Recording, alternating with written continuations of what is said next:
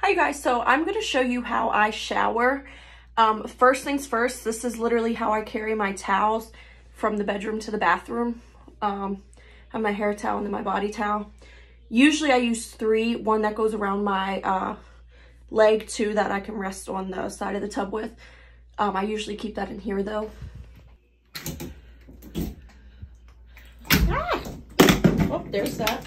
So there's my shower chair. Um, I have everything like my shampoo, face wash, soap, um, all in reaching distance. And then I'll, I'll get my tooth, toothpaste and toothbrush and I'll put that on the side too so I can brush my teeth while I'm in the shower. So as you guys can see, I'm sitting in the shower in my shower chair. Um, I have one leg in.